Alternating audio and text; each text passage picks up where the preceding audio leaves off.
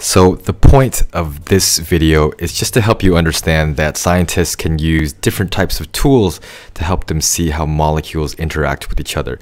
And in this case, this particular tool is the idea that you can find 3D structures of proteins and other types of molecules online. And proteins pretty much cover every single uh, important biological molecule from enzymes to antibodies to hormones and other types of molecules that are important. And you can use something like this protein data bank. Here's the link for it. You can check it out.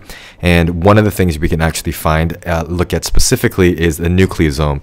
If you don't know anything about a nucleosome, this none of this rest of stuff is going to make sense to you. So you should make sure you understand fully what a nucleosome is all about. That it's DNA wrapped around this core of histone proteins, and you can start to understand how supercoiling can happen uh, because some of these little ends can bind onto each other and pull them closer together. It's quite detailed, especially what you need to know here in the higher level syllabus about nucleosomes. So this really the big picture of this video is to show you that you can use software uh, to help you analyze relationships between different molecules. So for example, I mean, this is not the best diagram. There are other things that I couldn't include on this particular video, but you can actually see the histones at the center of a nucleosome. You can see how the DNA is wrapped around and how it would wrap around around based on its uh, interaction um, with positively charged amino acids because uh, DNA is actually negatively charged.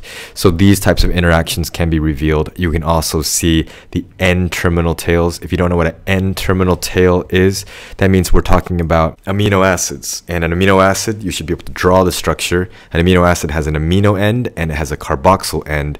And the N-terminal tail will be the end where there's actually a, a nitrogen sticking and these little tails, maybe something like what you see right here, can actually pull onto other types of tails and interact with each other and help to uh, pull these nucleosomes tighter and closer together. Probably explains why supercoiling is possible.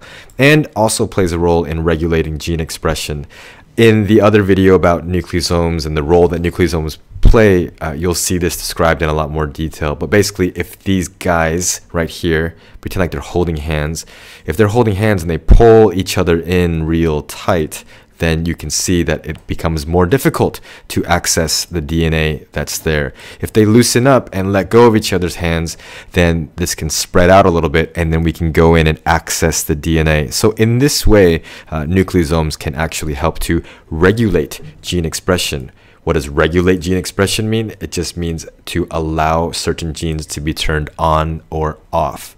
If I need more amylase, I can turn on the transcription and translation of amylase. If I don't, then we can turn that off. And that's called regulating gene expression, turning on gene expression or turning off gene expression. So go check out this site and go spin a bunch of molecules around.